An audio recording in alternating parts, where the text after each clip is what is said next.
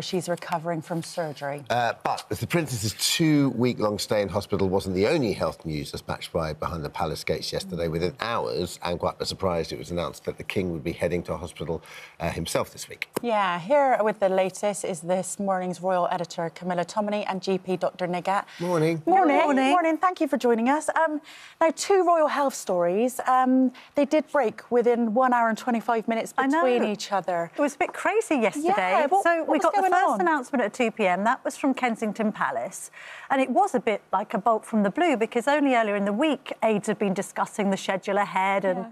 going to put out some engagements for, for both the Prince and the Princess of Wales. And then obviously we got this statement saying that she had undergone abdominal surgery on Tuesday at the London clinic, as you say.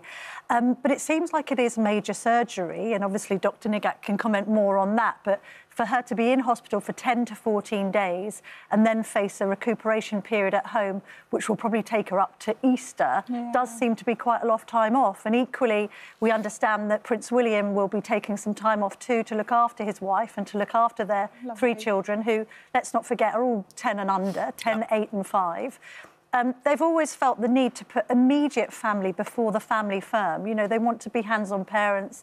They always organise jobs so that one of them is there for bedtime. And therefore, I think William's decided that he needs to be at Kate's side and to put the sort of royal role on the back burner for a while. Then, 90 minutes later, to get the announcement about the King undergoing a, a procedure next week for this enlarged prostate, which I know lots of people watching this, they'll be familiar with that. You know, I've got relatives who have had these uh, conditions um, and had to have them treated. They have said it's benign because obviously we think of men of his age, he's 75, and prostates, and we think of cancer. In both cases, actually, the, the C word has been ruled out. Uh, they haven't specified exactly what Kate is undergoing, and in the fullness of time, maybe she'll want to speak about that, but that's up to her, isn't it? Yeah, and I think that's quite important, isn't it? I mean, it's, you know, obviously she's a very important person, she's a very important figure in our society, so we, we, we, talk about what's happening to her, but at the same time respecting her privacy. So 14 days, Dr. Nighat, that's, a, you know, a recovery period. I mean, the thing is, is that um, I don't want to speculate on whether that's a natural timeline or not. At the end of the day, I think that um, every individual surgery is very specific and the nuances, and so she's under the best of care. But the biggest thing I took away from that is naturally you're going to worry. Um, I have children similar age as Kate, and so the first thing is she's wants to get home to her babies and she wants to recover fully but safely at the same time, so that she can go back and doing the job that she absolutely adores. Well, let's talk about the king because because the king's obviously his condition is far more uh, known, and he was far more obviously open about what's what's happening. So. And it's a good opportunity for us to talk about that, Doctor. Yeah. So, f- firstly, Camilla, let's start with you. What do we know about his condition so far and what he's doing? So we understand that he was examined last week, that they felt that his prostate was enlarged, that he's going to undergo a procedure next week. The palace did make the point that they wanted to make this public to raise awareness, and they described the king as suffering from something that many people of his age do suffer from.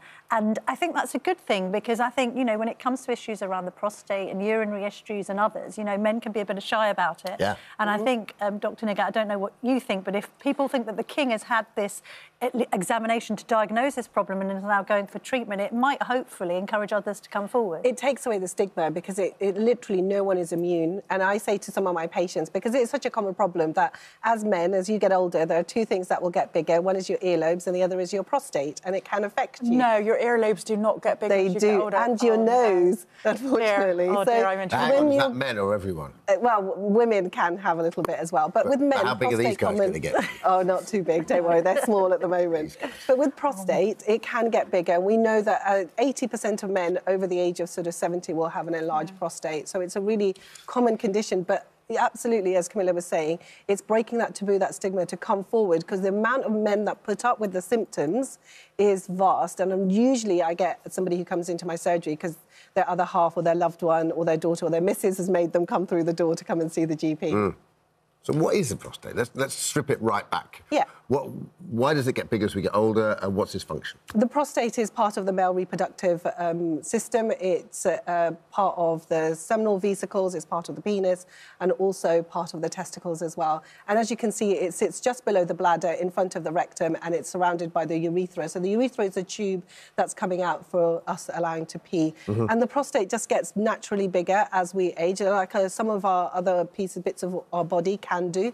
The problem that happens if it gets too big is it can block the urethra, so the tube that's coming out of the bladder, and, and stop the bladder flow or the urine flowing out of. And that can have a whole range of symptoms. So, symptoms from, say, starting very early on, feeling that your bladder isn't emptying properly. It can feel that you're getting hesitancy as well. So, you're standing over the pan and you want to pee and you can't pee, or feeling that um, you are also getting increased frequency of urine throughout the day and at night time. So, something known as nocturia. So, you're getting up at night time to have a wee, and that could be more than a couple of times. And also, what you can also notice is that um, you're getting sort of straining or a weak flow. So your urine isn't the strength that it used to be. Yeah. Those are the indicators that actually your prostate is getting bigger. So, just to make it clear, there is a big difference between the King's condition and, and prostate cancer. There is a big condition, and this is where I would make a real plea to anybody watching this. If you have any of those symptoms that I've just said, there is the International Prostate Scoring System, and you can just Google that and you can go through the symptoms because actually it's the quality of life that we're looking at. It happens ever so slowly, so men put up with the symptoms. But with prostate cancer, if you ever notice blood in your wee or wee in your semen, that's not normal and you need to get that checked out. Fatigue or feeling that you're tired without any unknown reason, or weight loss for un- unexplained reasons. But unfortunately, the symptoms can so overlap with each other. So we use a test called a PSA. Um, and I was speaking to a consultant urologist yesterday about this because the PSA can be quite contentious. We don't have men's health is just as bad uh, managed as uh, women's health, and the research and the data isn't so great. But the PSA test can give you an indicator.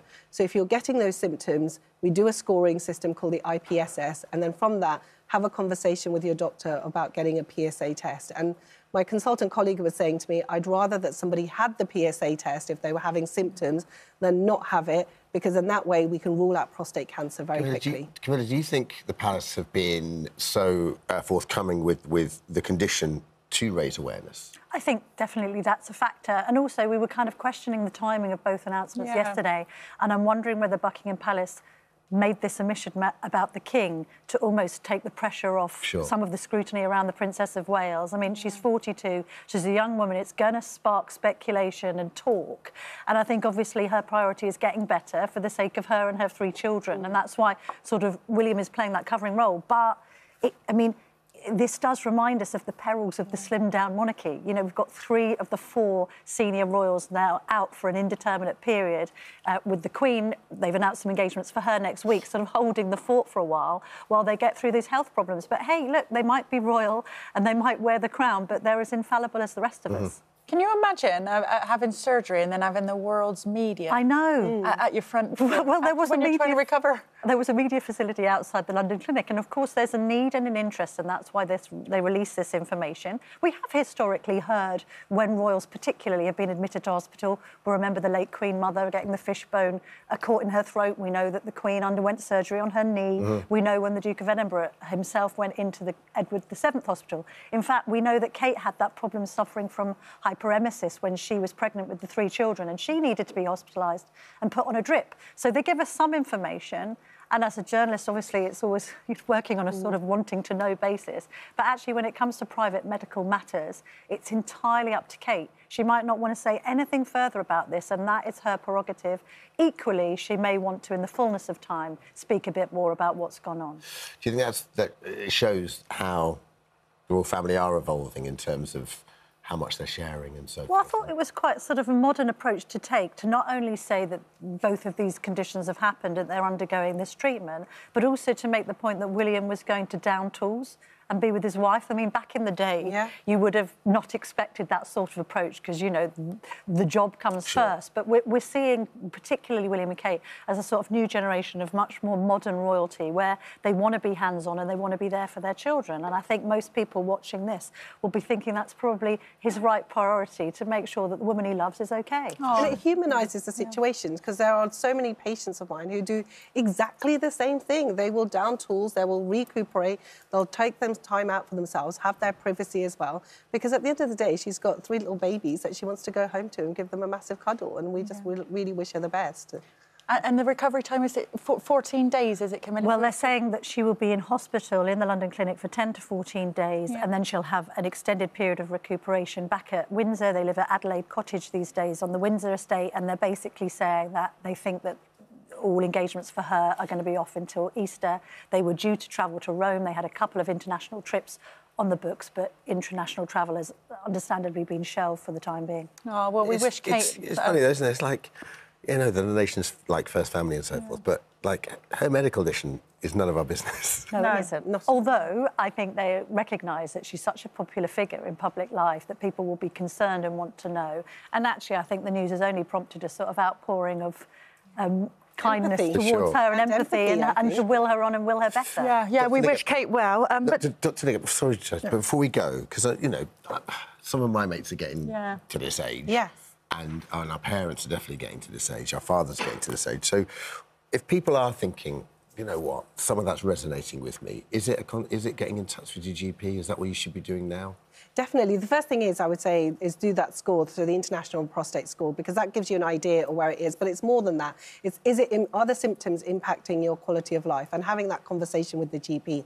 Getting a simple routine blood test would be an idea, but we look at mostly the holistic view. So it's like if your uh, alcohol intake is high, cut that down, stop smoking. Looking at your weight maintenance as well, looking at your toileting habits, and also really noticing, is this really something that is um, problematic to you? And that's where age doesn't really play a factor because we always say 50 and above is when you would contact the doctor if you had a prostate fam- yeah. or family history. And we know that in black Caribbean men, the risk of prostate cancer is one in four. For, so for them, please never put up with the symptoms. And the treatment plan that we would offer at GP is usually we start with lifestyle, holistic things, and I know that um, the King is very a huge champion of complementary mm-hmm. medicine. So I'm sure that that's something that he would have considered. Then there's medication that can help smooth uh, relax the smooth muscle around the prostate and increase the uh, urine output as well, uh, or medicine that can actually shrink the prostate as well. And then it would be really a surgical option because this is a really, really gradual condition, this enlargement of the prostate that happens. And surgery, there are a number of options. There's TURP, so transurethral resection of the prostate, where we shave or cut away from the prostate. There's newer ones now called HoLEP, which is like a laser. It's really, really brilliant. And the recovery from that is fantastic with lower risk factors and low, uh, low uh, complications as well. And the person's up and about within a, a couple of days um, and then back to whatever they want to do uh, in, uh, yeah. in regards to the recovery from the surgery. So thank you. Um, it is something that I would say, please don't put up with the symptoms. Go and see your doctor. Thanks. Thank you, Dr. Nighat, and thank you, Camilla. Nice thank to you. see you both. Yeah, thank send them our love. We'll do, Josie. She's got the hotline. Yeah, yeah. via the press office. I will send those good we, wishes. We, don't, we know you've got connections.